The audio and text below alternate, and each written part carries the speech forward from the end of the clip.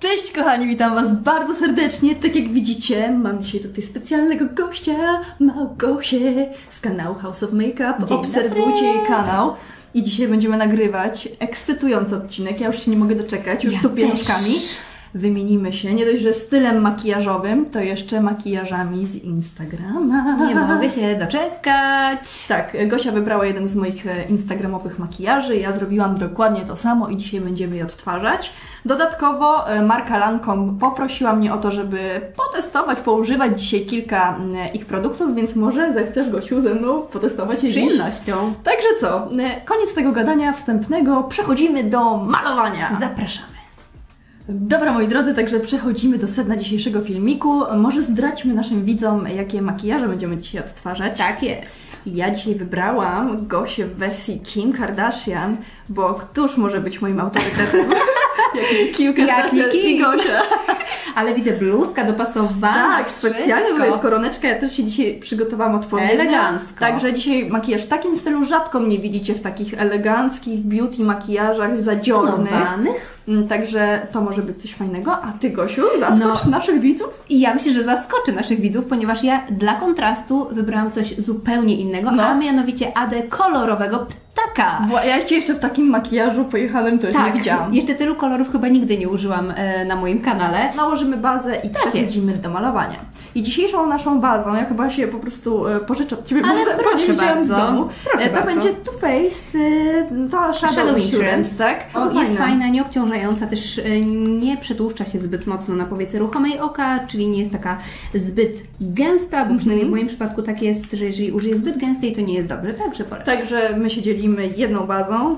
A u mnie też e, będzie fajna okazja, żeby pokazać tak naprawdę e, na YouTubie, jeżeli chodzi o mnie, po raz pierwszy użycie paletki Tune, e, którą stworzył Daniel Sobieśniewski. O, właśnie, ten makijaż wykonałam tylko paletką Daniela, więc e, możesz, też ją masz, więc możesz się Dokładnie.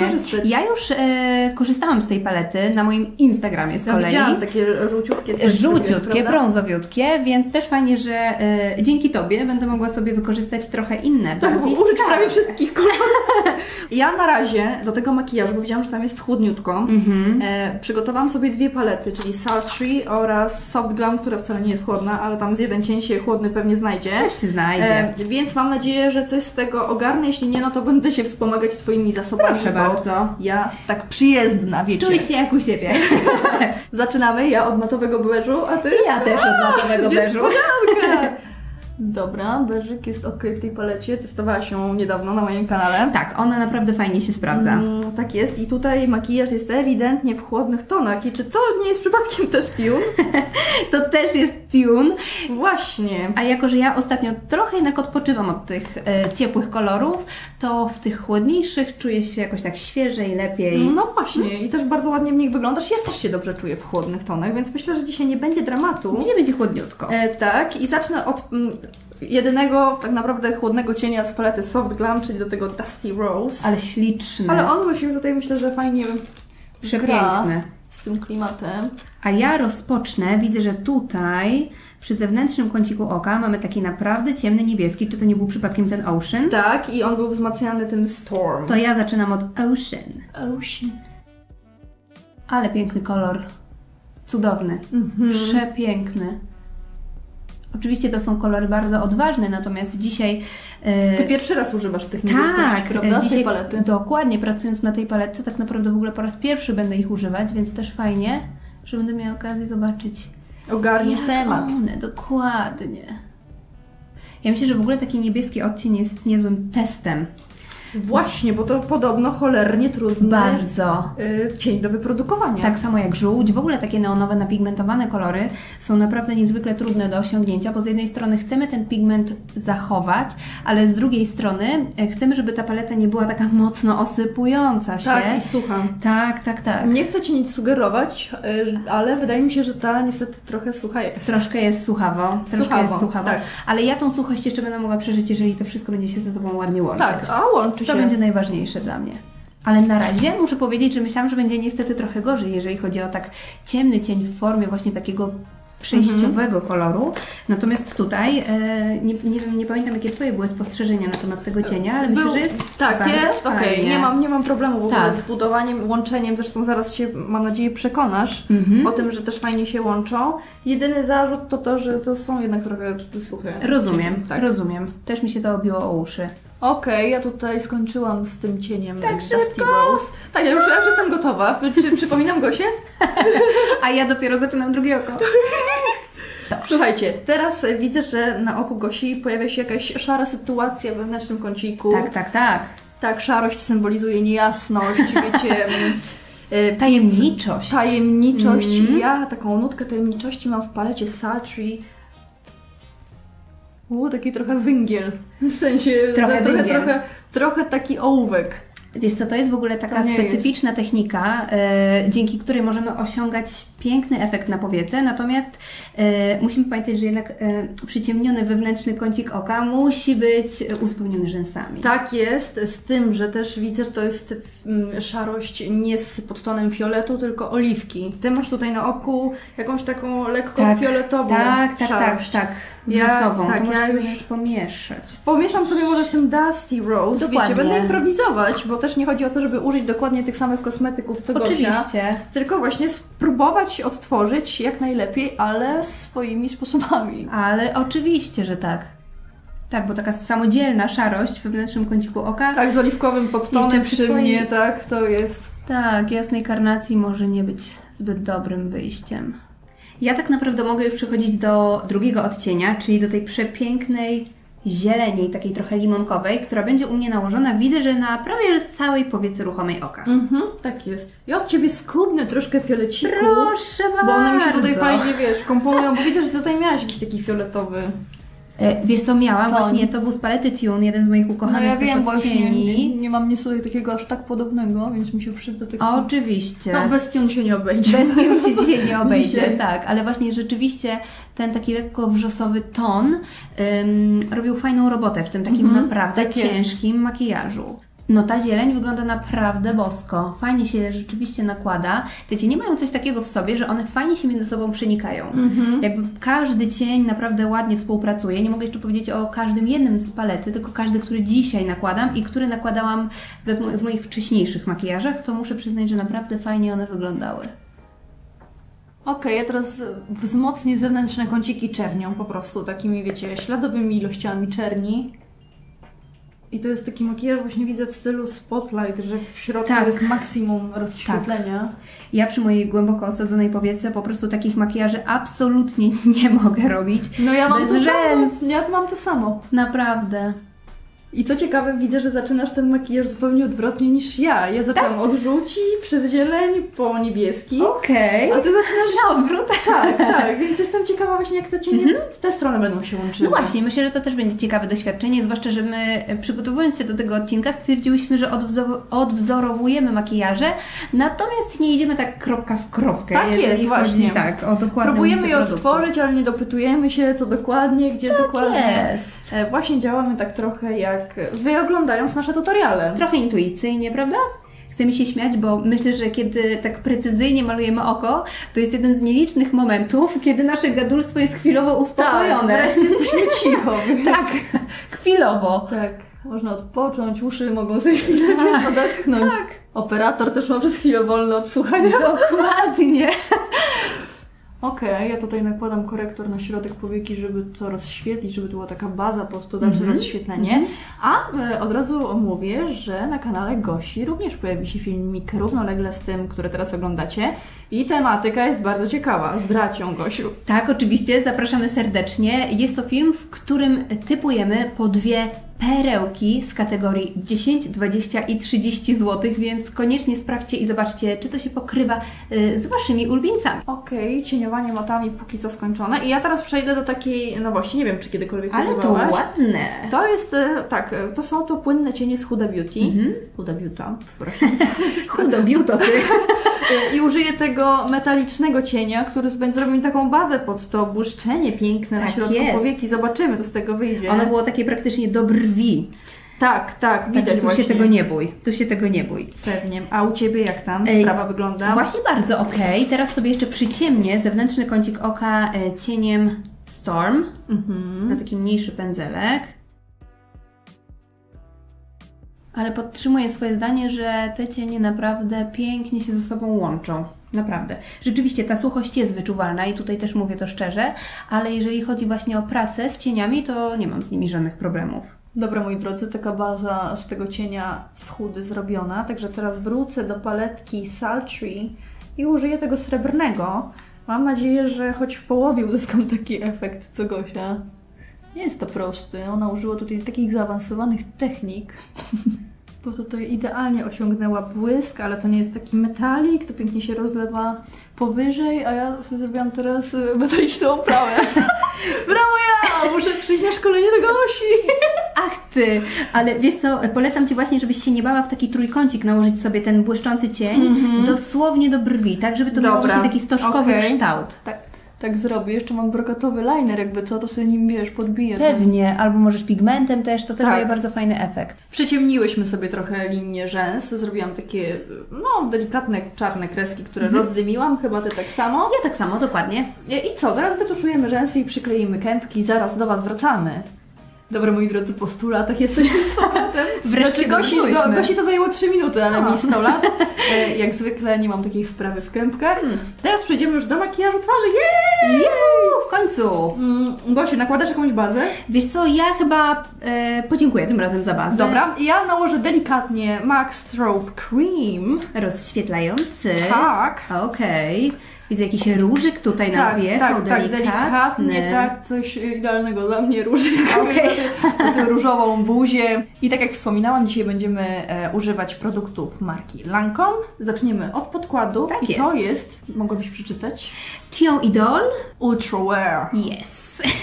E, ja mam, słuchajcie, kolor 005. Ja mam z kolei kolor 024 i to jest trochę ciemniejszy kolor, natomiast e, ci z Was, którzy nie oglądają mojego kanału, e, mogą nie wiedzieć, że ja mam jaśniejszą twarz niż szyja, ponieważ jestem na takich zabiegach złuszczających, rozjaśniających i po prostu podkładem muszę trochę się przyciemnić. Tak jest, więc ja już raz tego podkładu używałam. On jest długotrwały. Okej. Jest średnio kryjący, ale to już sama to zaraz zauważysz. Mhm. E, ale fajny jest, bo się nie zbiera w zmarszczkach. O, to ważne. E, To Także ważne. dla mnie to się liczy, natomiast nie wiem, jak zareagujesz na krycie i na trwałość, bo wiem, że wolisz takie bardziej rozświetlające?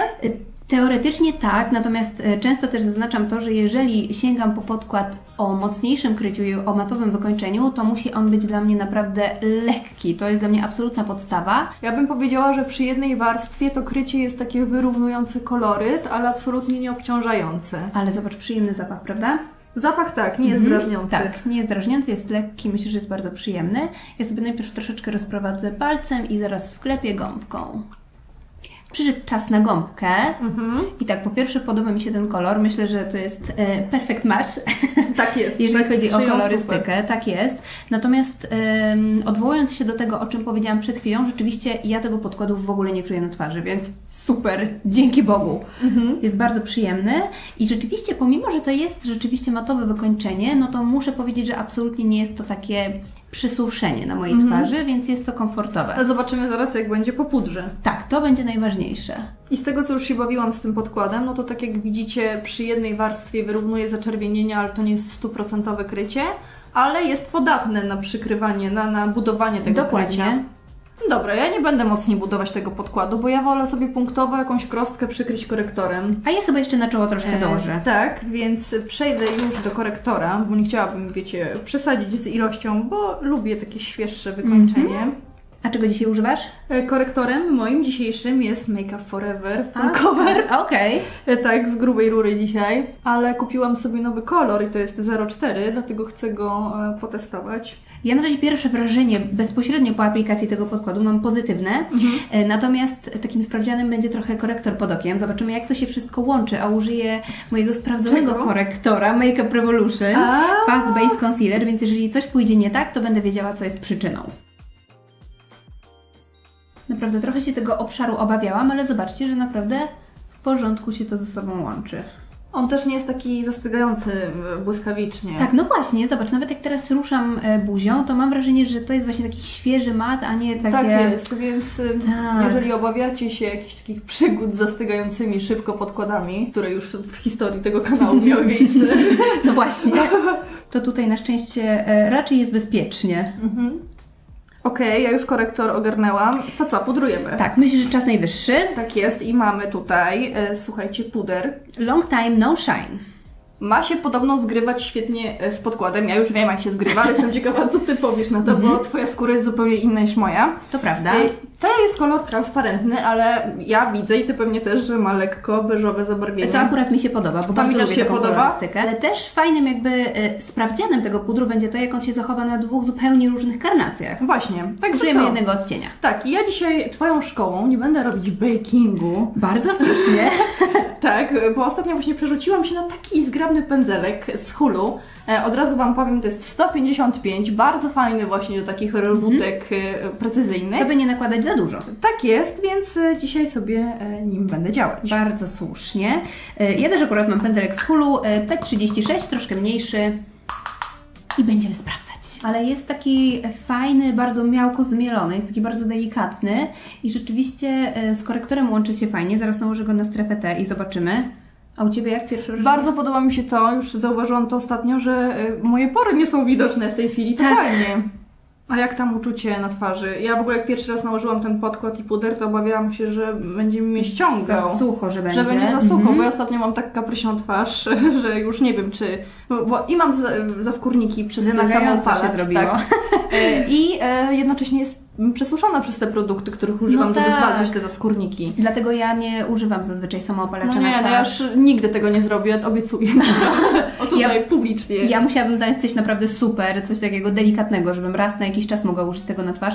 Dlatego też właśnie rezygnuję z tych samoopalaczy nakładanych na moją buzię. Ale jeżeli chodzi o ten puder, to zobacz też jak fajnie na czole wygląda. Mhm. Naprawdę. I, i, i, nie czuć, I nie czuć tego ściągnięcia. nie, nie czuć ściągnięcia i e, zarówno podkład, jak i puder wyglądają moim zdaniem spoko. Tak, tak. Ja już jestem, słuchajcie, przypudrowana. No to przyszedł czas na modelowanie. Tak, ja jestem nudna, bo używam znowu palety ze Smashboxa. A ja właśnie nie jestem nudna, bo e, użyję paletki, No którą wie. ostatnio testowałam. Tak, luksusowej. Luksusowe. Y, Są rzeczy, w których y, nudna bywam, ale jeżeli chodzi o tą paletę, to w moim filmie powiedziałam, że ten bronzer jest trochę za pomarańczowy. No właśnie. Ale to jest bardzo ciekawe zjawisko, dlatego że po pierwsze dziewczyny w komentarzach pisały mi, że właśnie fajnie, świeżo wygląda, a po drugie jakoś tak zaczęłam na co dzień go używać i naprawdę się z nim polubiłam, więc dlaczegoż by nie? No i słuchaj, ja na przykład bardzo lubię w tym bronzerze to, że właśnie on nie jest do końca matowy, tylko ma takie lekko satynowe wykończenie. Oczywiście matowe są bardzo... Ym, trendy, bardzo fancy, Tak. bardzo rzeźbiące i tak dalej, ale rzeczywiście te satynowe dają właśnie nam taki świeży efekt na twarzy, więc jeżeli ktoś jeszcze nie testował, to polecam. Okej, widzę, że już masz paletę różyków piękną. Tak jest. E, czy pożyczysz mi któregoś? No właśnie chciałam y, się zapytać, czy Ściemka sobie przypsiłko, winsujesz, tak? ależ bardzo proszę, który sobie życzysz? I, tak, widzę, że tutaj taki łososik był. Łososik był. Więc tak sobie oho, hop, hop, hop i hop. Ja zrobię. muszę powiedzieć, ja muszę teraz przeczytać te nazwy, które Ada pomieszała. How deep is your love? I will always love you. Och. Ale trzecia zostawiłam na deser. Love hangover. No tak, tak, tak. To by się zgadzało. To by się zgadzało. Wszystko o moim życiu. A ja użyję sobie Justify My Love, czyli takiego bardziej pastelowego różu. To co, teraz jeszcze rozświetlacz, prawda? Tak jest. E, Konga, najpierw pozwólcie, że go znajdę. Bo... Okej, jestem z powrotem. Słuchajcie, ja będę używać e, rozświetlaczy z Beki, ale Beka co? Ale beka, będziesz miała bekę. Tak, i mam e, kremowy Moonstone oraz e, Moonstone e, prasowany i ja sobie robię taki myk, że nakładam ten, praso- znaczy ten mm, e, kremowy na szczyty kości jarzmowych, na O! przypudrowany już podkład. Proszę mnie tutaj troszkę się Proszę. podzielić. I tak wiesz, tak bardzo delikatnie, żeby tu nic mi się nie zważyło i później do tego się lepiej przykleja rozświetlacz. O, Szczególnie jak sobie czasami zrobię ten baking, że wiesz, jest Sahara ca- taka totalna, wiem. to rozświetlacz mi się nie chce przyklejać. Wiem, ale powiem Ci, że rzeczywiście jest zaskakująca konsystencja, bo rzadko kiedy jest tak, że kremowy rozświetlacz wygląda dobrze na pudrach, a tutaj jest Tak, bo naprawdę on jest okej. tak się zamienia właśnie w taki trochę pudrowy Mhm. produkt po wklepaniu. I teraz rozświetlacz się będzie rozprowadzał jak marzenie po prostu. E, Wiesz co, ja chyba zrobię sobie e, Jennifer Lopez. O, tak, znam, Inglot, znam ten tak. motyw już. Ja dzisiaj jednak mam całe matowe oko, więc ja chcę sobie tą skórę tak mocniej doświetlić. Tak, tym bardziej, że na tym makijażu miałam sporo tego rozświetlacza. No tak, więc ja tutaj chcę się dzisiaj świecić z kosmosu. Ja sobie od razu ten rozświetlacz nałożę na wewnętrzny kącik oka, bo widziałam jeden rozświetlający akcencik i to było właśnie coś takiego jaśniejszego przy wewnętrznym kąciku oka. Tak. I teraz jeszcze do dolnej powieki wracamy. Ty też jeszcze nie masz? No nie mam. Mhm. Ja tutaj zrobię zgodnie z Twoją filozofią. Z instrukcją. Tak. Ja zacznę od czarnej kredki. Ja w ogóle bardzo rzadko nakładam na dolną linię wodną czarną kredkę. A ja właśnie często. A, no właśnie, no muszę... Nawet wręcz przesadzam z tym, ale uwielbiam. Ja teraz ten przepiękny odcień flamingo, którego już używałam, nałożę sobie na wewnętrzny kącik oka, ale ten powiem Ci, że moim zdaniem się troszeczkę mniej pyli niż na przykład ta żółć. Tak, ale Jest to chyba też dlatego, że jest łatwiej zrobić taką konsystencję. tak, oczywiście. Zauważ, że nawet w tanich markach jesteśmy w stanie znaleźć Oczywiście. tego typu kolory. Okej, teraz czas na dolną powiekę. Tak jak widzicie, mam czarne kreski na linii wodnej, więc teraz przejdę do szarości. Będę w ogóle bazować na szarości, czerni i ewentualnie tym chłodnym brązie, ale głównie tutaj skupimy się na tej szarości. W ogóle zobaczcie, jaki mam pędzelek pogryziony przez psa. Ale Ci ładnie, muszę powiedzieć, No, bo tak staram się dorównać, ale czy mi to wyjdzie, to A, nie musicie poczekać sami do końca i kochana. sami ocenić. Bardzo ładnie wyglądasz, pięknie. Dziękuję. I u mnie jeszcze e, pójdzie w ruch e, kobaltowa kredeczka na linię wodną oka. Tak, obowiązkowo. Obowiązkowo. Ja mam e, taką kredkę Marka Jacobsa Out of the Blue. I co, lubisz ją? Taki Bo ja właśnie kolor. poszukuję jakiejś takiej fajnej niebieskiej kredki, bo ciężko z pigmentacją. Właśnie, to chciałam powiedzieć, że jakby lubię tą kredkę za kolor, który moim zdaniem jest absolutnie niesamowity. Mhm. Natomiast jeżeli chodzi o jej trwałość i nakładanie na tą linię wodną oka, no to nieba tutaj nie ma, ale ten A, kolor no trochę właśnie, mi rekompensuje. Coś jest nie tak z tak, tak, tak. kredkami niebieskimi, bo już miałam i z Makeup Geek, i ze Smashboxa. E, I widzisz, to też I jest łatwo taka. nie jest. Tak, No. zdecydowanie. Użyję jeszcze tego rozświetlającego cienia w kąciki. Ja tak naprawdę oko już mam gotowe i wypadałoby też. coś nałożyć jeszcze na usta. Tak, ja tutaj na usta stwierdziłam, że ty tutaj mieć takiego nudziaka, Mhm. e, ale że ja mam chłodniejszą karnację, Mhm. e, to może pójdę w Lancome Okej. odcień, Ale słuchajcie, piękny. 274 i nie wiem, czy ja to dobrze przeczytam, nazywają się L'Absolu Rouge Drama Mat. Drama, Drama Mat. Pięknie. Mamy tu kolor 274, nie wiem, czy znasz te pomadki, ale to Znam. są podobno kultowe. Ja jeszcze nigdy nie miałam okazji e, się z nimi zapoznać. Wiesz co, oczywiście znam te pomadki, kolor jest zabójczy. To jest Ale one pachną. styl. Mm. Wiesz co, tak, to jest, o, pięknie to pachnie, ale to są takie pomadki, które dają matowy efekt, ale taki bez wysuszenia, Jezu, piękny, bez, bez, bez wysuszenia, Mhm. śliczny. Tak. No kurczę, powiem Ci tak, ja się zastanawiam, co mam dodać na usta, bo e, rzeczywiście w Twoim e, zdjęciu były Tam jest błyszczyk, tak. Natomiast tak mi się podoba ten kolor, że nie wiem, czy jeśli się nie obrazisz, czy nie użyję takiego samego. No nie wiem. Pozwoli mi, czy mnie? Dobra, Kurczę. już. Okej, okej, dobra. Korci Niech będzie, dobra. Nie, no to jest totalnie mój kolor. To jest zdecydowanie kolorystyka, w której ja się No najczęściej widzisz, a masz pojawiam. cieplejszą karnację Tak, niż ja. tak. Ale zobacz, jak zupełnie inaczej ta pomadka wygląda u nas. Tak, tak. Zupełnie. I jak pierwsze wrażenia? Wiesz co, jest matowa. Mhm. Ja Czuję taki kremik, pod, jak, jak złączę wargi, że nie jest to taki tępy mat, więc dla mnie spoko. Ale zobaczymy za chwilę, jak skończę, bo e, chyba przyda mi się pędzelek do takiego dokładniejszego wyrysowania. Mhm. O, nie wiem, czy widziałaś, ale w paczce mam jeszcze jeden kolor, to jest czerwień. Czerwień. Mhm. Widziałaś ją kiedyś? W ogóle zobaczmy, jak ona wygląda. Zobaczmy. To jest y, 500, 505. 505. Ja chyba już nie pozbędę się te, tego różu na ustach. Tak mi się podoba, więc No nie wkomponujemy tutaj tej czerwieni, bo nasze makijaże nie zawierały tego koloru.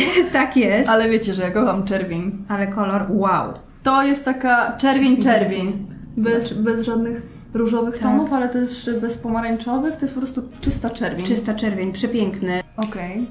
Ja już jestem gotowa z ustami. Ja Powiększyłam też. je trzy razy. Ja też. Kolor mi się bardzo podoba i tak naprawdę gdyby nie formuła dzisiejszego odcinka, to pewnie bym już została w tej pomadce, ale jednak chciałabym trochę zbliżyć się do, do klimatu tego zdjęcia. No, a wiesz co, no, i tutaj na Twoich ustach też jest No e, właśnie. trochę błyszcząco. Więc wiesz co, ja e, nie będę e, nakładała jakichś bardzo mocnych, szklistych błyszczyków, bo bardzo mi się podoba to wykończenie, ale nałożę sobie po prostu trochę wazeliny, żeby te Okej. usta były takie jednak trochę bardziej błyszczące. Dobra, ja w sumie też może nałożę bezbarwny błyszczyk. Mhm. z tej okazji, żeby się zbliżyć trochę do Kim Kardashian. Okej, makijaże już mamy skończone, ale oczywiście pozostało jeszcze Utrwalenie. Oczywiście. No i mamy też dzisiaj mgiełki Lancome Fix It for Get It. It! Forget it! E, To jest mgiełka, słuchajcie, która ma w składzie kwas hialuronowy i witaminę C, a to akurat bardzo dobrze, bo często jest tak, że osoby, które używają mgiełek utrwalających narzekają właśnie na taki efekt ściągnięcia. Ściągnięcia, tak, mam tak. No a kwas hialuronowy temu zapobiega. O, ojej, ale jak ona jest leciutka. Tak. Lekka jak powietrze, bardzo przyjemny rodzaj aplikacji. Okej, jesteśmy z powrotem, utrwalone. E, Powiedz Gosiu, jak Ty się czujesz? Ja w ogóle patrząc na Ciebie widzę siebie i to jest piękne, ale jednocześnie przerażające. Mam dokładnie to samo spostrzeżenie, ale muszę powiedzieć szczerze, że mimo, że jeżeli ja już decyduję się na kolory, to raczej przeplatam je z czymś bardziej bezpiecznym, czyli na przykład z brązami, z No czernią. właśnie, ja Cię w życiu w czymś takim nie widziałam. Ja siebie chyba też nie, ale muszę powiedzieć, że to jest dla mnie super doświadczenie. Naprawdę świetnie się bawiłam, e, dobrze się czuję w tym makijażu i jak tak patrzę na siebie, to e, mam ochotę na wakacje, ale patrząc na Ciebie widzę femme fatale. Tak, widzę ja mam ochotę z kolei na imprezę. kobiecość, także podoba mi się. A Ty jak się czujesz? Ja się bardzo dobrze czuję, chociaż ja praktycznie nigdy nie robię sobie czarnej linii wodnej. Pięknie To jest dla wygląda. mnie taka strefa komfortu już troszeczkę Na granicy. nagięta, natomiast wygląda to fajnie. Spokojnie fanta. mogłam teraz wyjść na jakąś kolację z jakimś przystojnym dżentelmenem, ale pozostało mi wrócić po moje dziecko i pojechać z nim do domu. Także Ale rozumiem, że panie, które się zajmują dzieckiem są są, przyzwyczajone. są przygotowane na Rozumiem. wszystko. E, Także naprawdę jest super. W ogóle podoba mi się też lekkość jednocześnie tego makijażu, bo nie To czuję się prawda. taka zmalowana. Nie wiem jak ty, ale ja nie mam jakichś takich, um, wiesz, poczucia suchości, Wręcz ściągnięcia. przeciwnie, powiedziałabym, że y, bardzo dobrze wszystko wygląda. Ja jestem najlepszym testerem matujących formulacji podkładów, dlatego że ja zazwyczaj czuję się w takich źle, natomiast w tej chwili muszę powrócić do tego, o czym mówiłam przy nakładaniu, że podkład ma taki świeży, y, nowoczesny mat. Dobrze to wygląda. Tak samo puder uważam, że wygląda bardzo ładnie, także jak najbardziej. Tak, na zgrywają się. Zgrywają się bardzo dobrze. A usteczka? Usteczki są super, no to jest moja tonacja, więc ja tutaj będę nudna, ale Tak, bardzo mi się podoba. dzisiaj siostrami. No i mgiełka oczywiście też bardzo Tak, ona jeszcze, jeszcze bardziej zmiękczyła ten makijaż, także naprawdę jest ok. Myślę, że ona też się sprawdzi do takiego odświeżania makijażu w ciągu dnia, szczególnie teraz latem. Tak, przez ten kwas hialuronowy chociażby, tak, prawda? tak. Nawilżający. Bo ona nie ściąga, tylko właśnie zmiękcza makijaż i daje poczucie takiego komfortu. Jak najbardziej. Także tak, moi drodzy, też by było wszystko na dzisiaj. Mam nadzieję, że dobrze się z nami bawiliście, Oby. bo my bawiłyśmy się wybornie. No. Śmiałyśmy się tutaj czasami do łez. Było już że na tego, granicy. Tak, szkoda, że tego nie widzieliście, bo Starałyśmy się opanować. tak, jesteśmy opanowane, także teraz zapraszam Was na filmik u Gosi, jeżeli Zapraszamy. jeszcze nie widzieliście. I widzimy się już niedługo w kolejnych filmach. Dziękuję Ci, Ja Gosieńko. też bardzo dziękuję. Zapraszam częściej. pa, pa! Okej, ja już sobie wyrysowałam moje wary. Ale Przepięknie. jeszcze raz, przepraszam, ale Dobra. nie patrzcie w kamerę. A w co mam się patrzeć? nie wiem, Na ale- Adę czy na siebie w lusterku mam się podziwiać? No wiesz, coś tam sobie poprawię jeszcze. Dokładnie. Okej, ja sobie wyrysowałam już moje wary. Powiększane. Ale zobacz, jak zupełnie inaczej u nas ten kolor wygląda, prawda? Tak, tak, no Zupełnie. zupełnie. mówiłaś to już. Dziękujemy, może pan z nami wystąpi? Dobra, trzy, cztery. Poczekaj, moment. Trzy, cztery. This look is complete. Ale wracając do tematu, to muszę powiedzieć, że ona jest bardzo lekka. Naprawdę. Tak, Dobra. Tak, próbowałam panować sytuację. Dobra. Co ty masz?